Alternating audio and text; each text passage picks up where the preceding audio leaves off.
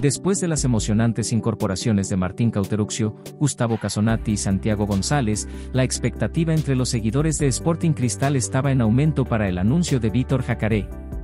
Sin embargo, parece que la contratación del futbolista está fuera de la mesa. Según informó la periodista brasileña Gabriel Gómez, la propuesta del club celeste fue considerada insuficiente, lo que ha llevado a la decisión de que Jacaré rechace venir a la Liga 1. Además, se reveló que el extremo ya tiene ofertas de otros dos clubes en su país. La tendencia es que defienda a un equipo que competirá en la Serie B de Brasil esta temporada. Esta situación deja a la directiva bajo Pontina en la búsqueda de un nuevo atacante extranjero para encarar la temporada nacional este año. Por el momento, se desconocen las alternativas que está considerando la dirigencia rimense. Es crucial destacar que Sporting Cristal ya tiene definidos cinco de los seis cupos extranjeros para el 2024, con jugadores como Nicolás Pasquini, argentino, Ignacio da Silva, brasileño, Cauteruccio, uruguayo, Casonati, brasileño, y González, argentino.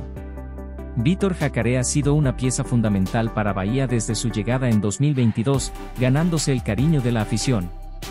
Su desempeño destacado ocurrió a principios de 2023, bajo la dirección del entrenador tricolor Renato Paiva, donde se consolidó como un extremo de confianza. Este buen momento llevó a la renovación de su contrato en abril, extendiéndolo hasta diciembre de 2024. Una lástima que la negociación no se concretara. Muchos de la afición de Sporting Cristal estaban ansiosos por recibir a Víctor Jacaré, un talentoso futbolista que ha dejado huella en Bahía su habilidad y conexión con la hinchada lo convierten en un jugador codiciado.